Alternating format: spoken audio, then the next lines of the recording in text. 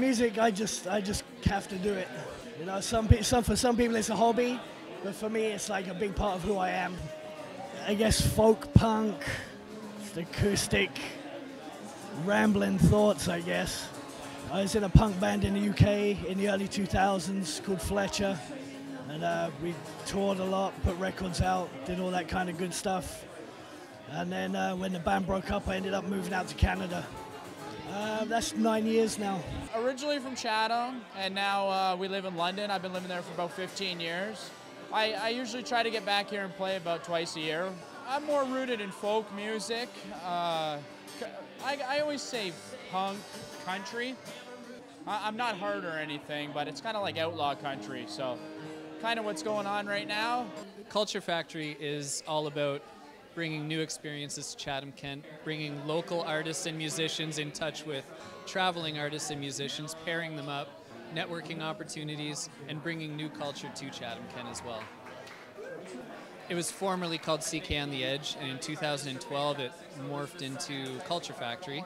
Um, so now it's a little bit more uh, moved into a bit more, more of a music-based direction, and uh, now we're actually really aligning ourselves with the art community as well. I'm so honored to be a part of Culture Factory's first event of the year. Uh, I'm one of two featured artists, and so tonight I've brought with me just three samples of kind of where my art is headed this year. My main focus when I'm making art is the emotion or the feeling, and then a color uh, or, or uh, a gesture that comes from that. Uh, when you see my abstract art, it's usually uh, representational of something I'm probably processing in my head, uh, but I've also been moving into more representational art with uh, the dog that I did behind me as well. But again, just that vibrant use of when you see that dog, you know that dog is excited to see you. And so I'm using pinks and yellows instead of a traditional dog color to represent that emotion as well. Through some of my um, professors, uh, they really linked me with some of the communities, not only in Chatham Kent, but also in Windsor. So it's really nice to get out there and get active in the art- artistic community. I do anything from uh, painting, sculpting.